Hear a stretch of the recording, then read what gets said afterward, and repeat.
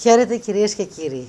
Είναι η εκπομπή «Γνωρίζουμε τη γλώσσα μας» σε ένα τηλεοπτικό ταξίδι όπου οι λέξεις μας οδηγούν, αλλά και οι άνθρωποι. Σήμερα έχουμε μαζί μας τον κύριο Αθανάσιο Γαγκίδη, ο οποίος είναι οικονομολόγος, ε, δημοτικός σύμβουλος, πολλές ιδιότητες ε, και υπεύθυνος ε, στρατηγικού σχεδιασμού της Νέας Δημοκρατίας για την περιφέρεια Ανατολικής Μακεδονίας και Θράκης.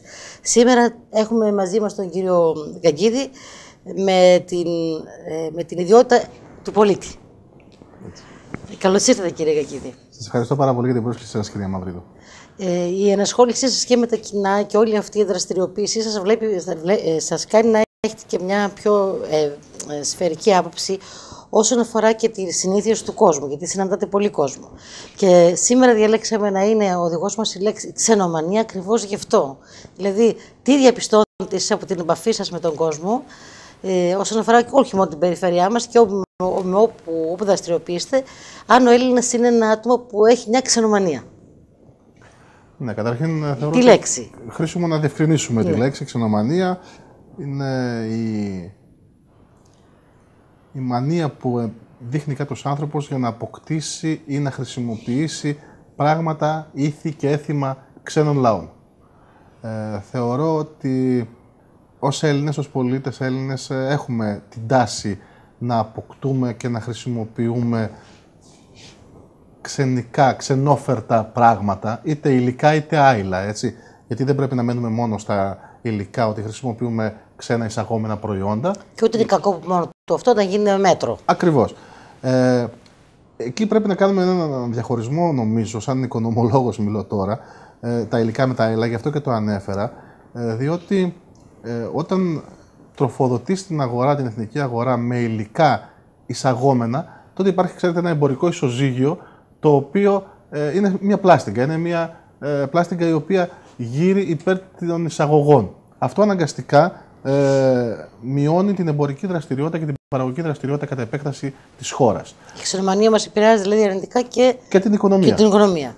και οδηγούμαστε σε, θεωρώ σε αυτό ε, το τρυπάκι, διότι ορίστε το τρυπάκι, μόλις χρησιμοποίησα μία λέξη η οποία ε, αν την ψάξετε σε κάποιο ελληνικό λεξικό δεν θα την βρείτε, δεν θα την εντοπίσετε. Αποδίδει όμως πολύ εύστοχα μια καθημερινότητα. Ακριβώς. Ε, θεωρώ ότι ε, μεγάλο ποσοστό μας οδηγεί λοιπόν εκεί η μίμηση που ε, οι άνθρωποι, ξέρετε, στην οικονομία λέμε ότι η μίμηση είναι από τους παράγοντες που ε, δημιουργούν και εξελίσσουν και πολλαπλασιάζουν τις ανάγκες των ανθρώπων. Αυτό έχει ως αποτέλεσμα αυτές οι ανάγκες να αυξάνονται και να πολλαπλασιάζονται σε πάρα πολύ μεγάλο βαθμό και ταυτόχρονα εμείς να προσπαθούμε να τις ικανοποιούμε με δεδομένα, με συγκεκριμένα προϊόντα ή αγαθά. Μπορεί να είναι πλασματικές αυτές οι ανάγκες. Ακριβώς και έτσι δημιουργείται ένα χάσμα μεταξύ αναγκών και μέσων των οποίων χρησιμοποιούμε για την ε, ικανοποίηση των αναγκών και έτσι δημιουργείται το κύριο, λέμε εμείς στην οικονομία, οικονομικό πρόβλημα κάθε κοινωνίας. Αυτό το χάσμα το οποίο ποτέ δεν γεφυρώνεται. Αυτό λοιπόν κατ' επέκταση οδηγεί και ανθρώπους σε κάθε χώρα, μιλάμε για τους Έλληνες αυτή τη στιγμή, τους Έλληνες, ε, στο ώστε να έχουν δημιουργήσει ένα χάσμα μεταξύ της ικανοποίησης των αναγκών τους και τα μέσα τα οποία έχουν να χρησιμοποιήσουν. Η παγκοσμιοποίηση, κύριε Γαγίδη, έχει επιτείνει αυτό το πρόβλημα. Δηλαδή, παλαιότερα οι κοινωνίες ήταν πιο κλειστές. Όχι ότι αυτό ήταν το άριστο, απλώς το επισημαίνω ως ένα ε, γεγονός. Ήταν πιο κλειστές και ήταν πιο ελληνικές. Ε, η παγκοσμιοποίηση, το ότι έχουμε πρόσβαση σε όλο τον κόσμο, στους γειτονές μας, στους πιο μακρινούς, στους πιο κοντινούς, ότι έχουμε, μπορούμε να ταξιδέψουμε πιο εύκολα, που είναι όλα θετικά αυτά, ως ένα σημείο ε, μας κάνουν όμως πιο εύκολα να, να αλωτριωθούμε ως λαός, αν έχουμε αυτή την ξενομανία. Ναι, θεωρώ ότι η παγκοσμιοποίηση, όπως και η διαφήμιση, όπως η τεχνολογία με τα επιτεύγματά της, ε, όπως η επικοινωνία που πλέον είναι πάρα πολύ άμεσο όταν επικοινωνήσουμε την άλλη άκρη του κόσμου, είναι παράγοντες οι οποίοι ε, οθούν τον άνθρωπο, τον Έλληνα στην ξενομανία. Είναι παράγοντες οι οποίοι σου εφέρνουν πολύ πιο κοντά σε προϊόντα, σε ήθη, σε έθιμα, σε συνήθειες, ε, οι οποίες είναι από του κόσμου και τις υιοθετείς για κάποιο λόγο και εσύ. Ταυτόχρονα όμως θα πρέπει να σκεφτούμε τόσο από οικονομικής όσο και από ε, ηθικής πλευράς η χρησιμοποίηση σε μεγάλο βαθμό όλων αυτών υλικών και άειλων, έτσι για να μην τα ξεχωρίζουμε, ε, τι επιπτώσεις έχει στην τοπική κοινωνία. Για παράδειγμα, όταν εσύ ε, υιοθετείς ένα έθιμο ή μία συνήθεια απομακρυσμένη, αντικαθιστάς ταυτόχρονα τη συγκεκριμένη Εξοβελείς τη συνήθεια δική σου. που ναι, οι πρόγονείς σου σου έχουν κληρονομήσει. Αυτό θεωρώ ότι είναι τουλάχιστον επικίνδυνο από την άποψη ότι χάνεις την ιστορική σου ταυτότητα και τις ρίζες σου. Ε, υπάρχουν βέβαια εντάξει και αντίθετες απόψεις οι οποίοι δεν ενδιαφέρονται για ε, τις ιστορικές ε, ρίζες ε, των λαών. Ε, κατ' εμέ θεωρώ ότι θα πρέπει να μείνουν αυτούσιες ε, και να διαφυλαχθούν. Γι' αυτό και νομίζω πως όλοι αυτοί οι σύλλογοι και όλοι οι φορείς που ασχολούνται με τη διάσωση της παράδοσης κάνουν πολύ σημαντική ε, δουλειά με τη διάσωση της παράδοσης και της λαογραφίας των πληθυσμών ε, της περιοχής μας. Αν εσύ λοιπόν αντικαταστήσεις αυτές τις παραδόσεις με ξενόφερτες παραδόσεις, κάποια στιγμή θα έχουμε ε, μια παγκόσμια κοινωνία επίπεδη θεωρώ, που όλοι θα έχουμε τα ίδια έθιμα, τις ίδιες συνήθειες, τα ίδια ήθη και δεν θα μας διαχωρίζει τίποτα. Εμένα προσωπικά μου κάνει κάτι σε οργολικό κείμενο, έτσι, για ένα κείμενο του Τζόρτζ Όργουελ. Orwell, Ε, Εκεί με, με, με πηγαίνει. Βέβαια, Η υπερβολική προσήλωση στο εθνικό, στο δικό μας, η υπερβολική και λάθος, ας πούμε, και η ξενοφοβία δεν είναι καλό. Ε, ως ένα σημείο νομίζω ότι δεν είναι και το ζητούμενο. Καλό είναι να μπολιάζονται κάποια πράγματα, αλλά όπως είπατε και μου έκανε εντύπωση που αναφερθήκατε στους συλλόγους και στην, στην παράδοση, γιατί εκεί φαίνεται πολύ καλά το ξένο στοιχείο. Φαίνεται ως ε, ε, φαίνεται αμέσως το ξένο στοιχείο.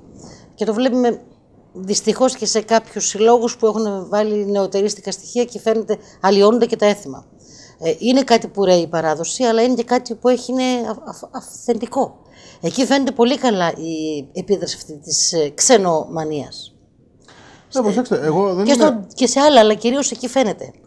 Ε, να σας πω κάτι, δεν είμαι κατά της χρησιμοποίησης ε, πραγμάτων τα οποία τα έχει σκεφτεί κάποιος άλλος, τα έχει ε, εκτελέσει κάποιος άλλος με μεγάλη επιτυχία, κάποια πράγματα τα οποία μπορεί να είναι εφαρμόσιμα και στο δικό μου τόπο. Έτσι. Δηλαδή, έχω για παράδειγμα, ε, και το θυμάμαι χαρακτηριστικά από έναν καθηγητή μου στο Πανεπιστήμιο, για τη λειτουργία των συνεταιρισμών στη Σουηδία.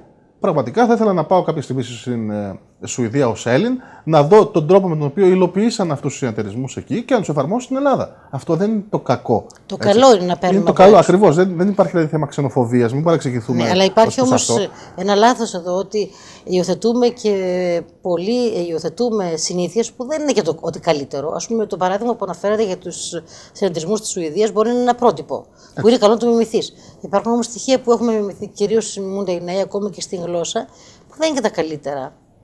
Ε, δηλαδή πρέπει να υπάρχει ένα μέτρο εκεί. Αυτό το μέτρο άριστο που λέγανε οι Κοιτάξτε, οι ναι, αρχαίοι. μέτρο, το μέτρο θεωρώ ότι δεν μπορεί να επιβληθεί. Όχι, είναι στον όλα, καθένα. Μπράβο, όλα είναι θέμα οικογένειας και παιδείας κατ' εμέ. Δεν μπορείς να επιβάλλεις τον νέο να μην γράψει γκρίκλι, για παράδειγμα, στο ίντερνετ, που είναι πολύ συνηθισμένο πλέον. Έτσι. Και εύκολο. και εύκολο. Δεν μπορείς να του ε, επιβάλλεις να μην χρησιμοποιεί εκφράσεις ξενόφερτες, μη ελληνικές. Μπορείς όμως να του δείξεις ότι ο πλούτος της ελληνικής γλώσσας είναι τόσο μεγάλος που μπορεί να υπερκαλύψει αυτές τις εκφράσεις και να, τον, ε, και να καταφέρει να εκφράσει συναισθήματα πολλά περισσότερα από τη συγκεκριμένη αγγλο, αγγλόφωνη ή ξέρω εγώ, γερμανική ε, λέξη που θα χρησιμοποιήσει. Ναι. Άρα το θέμα είναι η μεγαλύτερη ηλικιακά να μπορέσουμε να ε, δώσουμε τα εφόδια στο παιδί ώστε να καταλάβει ότι χρησιμοποιώντας την ελληνική γλώσσα μπορώ να καλύψω ένα μεγαλύτερο φάσμα σκέψεων, ονείρων, φαντασιώσεων, ε, ε, πραγματικών γεγονότων γιατί είναι πολύ πιο πλούσια η ελληνική γλώσσα. Και ό,τι ξέρουν δεν είναι πάντα το καλύτερο. Πάντα. Δεν είναι το καλύτερο ότι είναι ξένο. Εντάξει, θα, θα, θα συμφωνήσω εν μέρει. Δεν θεωρώ ότι και το ελληνικό είναι πάντα το καλύτερο, Όχι, έτσι για όχι. μην το παρεξηγηθούμε. Καθόλου το αντίθετο. θα- Αλλά όχι και το ότι οτιδήποτε ξένο είναι καλύτερο από το δικό μας. Και αυτό δεν ισχύει. Υπάρχει μια ζυγαριά εκεί. Υπάρχει μια ζυγαριά. Ε, την αναφέραμε και σε οικονομικό επίπεδο, έτσι, για να έρθουμε τώρα και στην ε, περιοχή μας. Όταν οι καταναλωτές της περιοχής μας, για παράδειγμα, και με την ιδιότητά μου στην υπηρεσιακή, το διαπιστώνω, το βλέπω, προμηθεύονται ε, υλικά, καταναλωτικά προϊόντα από γειτονικές χώρες, αυτό στο ισοζύγιο μεταξύ των δύο χωρών παίζει ρόλο. Όταν λοιπόν χάνεται, ε, υπάρχει μια διαρροή ενός ε, πολύ υψηλού εισοδήματος προς χώρες γειτονικές, χωρίς αυτό πραγματικά στη δική μας οικονομία να έχει αντίκρισμα, να ισορροπήσει την κατάσταση, ε, καταλαβαίνετε ότι κάποια στιγμή αυτή η ζυγαριά όταν γέρνει όλο προς τη μία πλευρά, κάποια στιγμή θα ανατραπεί. Μάλιστα. Ε, να πάμε εδώ σε μια ε, μικρή ολιγόλεπτη διακοπή. Κύριε Καγίδη, η λέξη μανία από μόνη της έχει μέσα αυτό το παράφορο, το υπερβολικό. Η ξενομανία την έχει αυτή την έννοια μέσα; Ναι, θεωρώ ότι υπάρχουν περιπτώσεις που την έχει. Ε, όταν, ε, για παράδειγμα, από εμπορικής απόψεως ε, χρησιμοποιούμε και καταναλώνουμε αναψυκτικά μόνο εισαγόμενα, ενώ υπάρχουν πάρα πολλές εταιρείες ελληνικές που εφιαλώνουν ε, ανθρακούχα αναψυκτικά, ναι, θεωρώ ότι ε, έχει καταστεί μανία πλέον. Είναι εύκολη, μια εύκολη λύση. Είναι ότι θέλουμε να δείξουμε και στον περιγυρό μας ότι εμείς είμαστε κάτι διαφορετικό. Όπως παλιότερα γινόταν πολύ με τα εισαγωμένα ρούχα, ας πούμε, με τα ρούχα τα σινιέ, να ξέρει λέξη. Ε, ενώ υπήρχαν αντίστοιχα ελληνικά. Βλέπω ότι λίγο οι νέοι έχουν ξεφύγει από αυτό κάπως. Υπήρχε αυτή η μανία επίδειξης εδώ. Ότι αυτό είναι ε, ξένο. Ε, σας λέω, θεωρώ ότι υπάρχουν πολλοί παράγοντες για να οδηγηθούμε σε ξενομανία.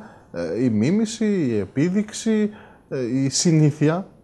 Έτσι. Υπάρχουν συνήθειες οι οποίες πάλι στον εμπορικό έτσι, κομμάτι απευθύνονται μόνο σε ξένα προϊόντα, ενώ υπάρχουν ταυτόχρονα ελληνικά. Που είναι εφάμιλα θα είναι. Που είναι εφάμιλα και θέλω να το σκεφτούμε και λίγο έτσι πιο βαθύτερα. Βοηθώντας μια ελληνική επιχείρηση, ταυτόχρονα βοηθάμε και τον εαυτό μας. Έτσι το βλέπω εγώ. Θεωρώ ότι βοηθώντας μια τοπική επιχείρηση βοηθάμε τον τόπο μας. Ε, όχι ότι, ξαναλέω για να μην παραξηγηθώ, δεν υπάρχουν περιπτώσεις όπου θα πρέπει να παίρνουμε από τους ξένους, θα πρέπει να εισάγουμε στοιχεία, ε, θα πρέπει να εισάγουμε ε, ιδέες, καταστάσεις, προϊόντα τα οποία και μας χρειάζονται ε, και ενδεχομένως είναι και καλύτερα από τα ελληνικά. Αλλά δεν θα πρέπει να είναι ο κανόνας αυτός. Θα πρέπει να έχουμε στο μυαλό μας πάντα την πλάστικα που σας ε, εξηγούσα πριν ε, στο πρώτο μέρος της εκπομπής, όπου αυτή η πλάστικα θα πρέπει να είναι τουλάχιστον ισορροπημένη. Η διακίνηση των ιδεών που αναφερθήκατε, κύριε Γαγκίδη, ε, συμπεριλαμβάνεται στη λέξη, γιατί συνήθως όταν λέμε ξενομανία μιλάμε περισσότερο για υλικά αγαθά ή όχι.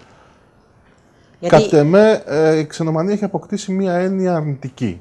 Οπότε η διακίνηση ιδεών ε, θεωρώ ότι δεν εντάσσεται μέσα στη λέξη. Δηλαδή δεν μπορούμε να αμφισβητήσουμε ότι οι άνθρωποι παγκόσμια, ε, έτσι σε όλο το μήκο και πλάτη του κόσμου, έχουν αποτυπώσει τόσο θεωρίες, όσο απόψεις, όσο ιδέες, οι οποίες είναι χρήσιμες για την ανθρωπότητα. Βέβαια, εκεί μπορούμε, κατ' εμέ, να πέσουμε στην παγίδα, να υιοθετήσουμε απόψεις που μπορεί τελικά να μην έχουν καμία σχέση με την πραγματικότητα την ελληνική. Απλά επειδή κάποιος ε, σοφός ε, το είπε στην ε, νότιο-ανατολική ξέρω εγώ, Ασία, θα πρέπει να το υιοθετήσω και να το εφαρμόσω εδώ. Θα πρέπει να, το προσπαθούμε να το φιλτράρουμε όσο αυτό είναι δυνατό και να μην ε, αποκτούμε αιμονές. Γιατί η μανία από εκεί προκύπτει. Έτσι, από την αιμονή της χρησιμοποίησης ή της απόκτησης συγκεκριμένων ξένων ε, πραγμάτων να στεκόμαστε δηλαδή κριτικά ακόμα και απέναντι στις ιδέες, να μην τα υιοθετούμε αυτούσια όλα. Αλλά η λέξη, όπως είπατε, ε, η λέξη παραμπάμπει κυρίως σε υλικά ε, αγαθά και συνήθειες. Κυρίως σε υλικά αγαθά. Είναι πολύ σημαντικό αυτό που είπατε ότι θα πρέπει να έχουμε κριτική στάση και σκέψη προς όλα αυτά. Και νομίζω ότι ε, για να περάσουμε έτσι και στην παρουσίαση των βιβλίων που έχω φέρει σήμερα μαζί μου, ότι για να αποκτήσουμε κριτική σκέψη και στάση θα πρέπει να αν μη τι άλλο να διαβάζουμε βιβλία.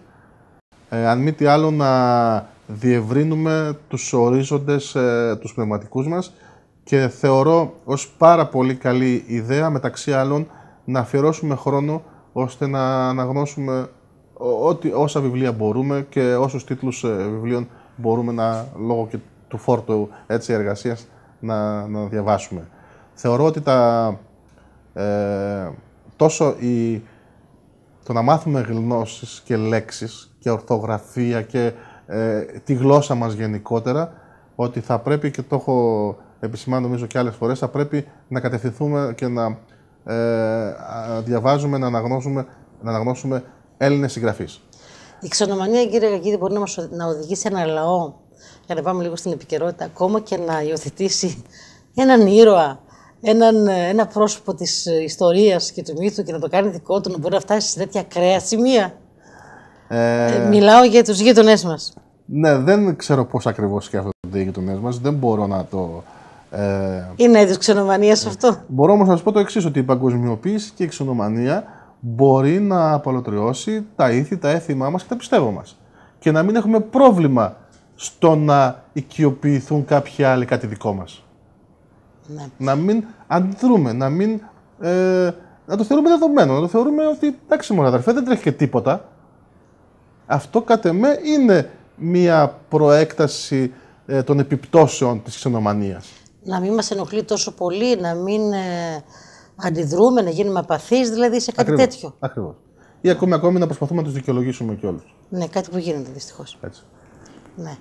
Να περάσουμε Γι' λίγο και αυτό τις και σήμερα, γι αυτό και σήμερα ε, έχω φέρει μαζί μου δύο βιβλία της αγαπημένης κατ' εμέ ε, συγγραφέως, της Πενελόπης της Δέλτα και θα ήθελα να τα προτείνω όπως και όλη τη σειρά ε, των βιβλίων που έχει συγγράψει η Πινελόπη Δέλτα. Θεωρώ ότι είναι τόσο απογλωσσολογικό έτσι, ε, περιεχόμενο όσο και από ιστορικό είναι βιβλία τα οποία πρέπει να έχει διαβάσει κάθε Έλληνας. Και μάλιστα κάθε Έλληνα σε μικρή ηλικία. Να το πω έτσι. Γιατί είναι και γραφή τέτοια που είναι, πολύ, που είναι βανάγνωστα βέβαια, με, ενώ περνάνε πολύ σημαντικά μηνύματα από μέσα, μέσα από, την, από τα, τα κείμενα αυτά. Περνάνε σημαντικά μηνύματα με έναν τρόπο που μπορεί να το καταλάβει ένα, ένας έφηβος. Έτσι ακριβώς. Και ε, θεωρώ ότι είναι βιβλία τα οποία τα διαβάζεις και δεύτερη και τρίτη φορά. Χωρίς ε, μ, καμιά βαραστημάρα. Έτσι, τα διαβάζεις συνεχώς. Έχω να προτείνω λοιπόν ε, τον τίτλο Στα μυστικά του Βάλτου της Πινελόπης Δέλτα, μια που είπατε ότι είναι και επίκαιρο τώρα λόγω των, ε, όλων αυτών των συζητήσεων περί του Μακεδονικού. Ε, και τον Μάγκα. Φυσικά υπάρχουν και άλλα βιβλία που ξέρετε η Πινελόπη Δέλτα έχει και ένα χαρακτηριστικό ότι συνέδεε πολλούς ε, από τους ε, ήρωες των βιβλίων της σε άλλους τίτλους, σε άλλα βιβλία. Ε, θεωρώ ότι αυτά τα δύο είναι έτσι, τα πιο συνδεδεμένα μεταξύ τους και γι' αυτό και έφερα αυτά τα δύο να τα προτείνω. Και για να, έτσι, να ευθυμίσουμε λιγάκι, κύριε Καγκίδη, καλά θα ήταν να μεταφραζόταν και να τα στέλνανε και στη Σκόπια αυτά τα βιβλία. Και ίσως θα έκανε καλό και, στη- και σε αρκετούς πολιτικούς μας, χωρίς να δείξω, να τα ξαναδιαβάσουν. Σύ, Ίσως να ευαισθητοποιηθούν. μάλιστα. ε, σας ευχαριστώ πάρα πολύ. Εγώ σε ευχαριστώ για την πρόσκληση. Κυρίες και κύριοι, κάναμε ένα πολύ όμορφο ταξίδι ε, σήμερα μέσα από την εκπομπή με οδηγό μας τη λέξη ξενομανία και μαζί μας είχαμε τον Αθανάσιο Καγκίδη που μας ε, μίλησε και αν έδωσε τα φώτα του ε, μιλώντας για τη λέξη αυτή αλλά και για ό,τι υπάρχει πίσω από αυτή τη λέξη και, τη- και τη- την έννοια και τη σημασία της. Καλό σας βράδυ.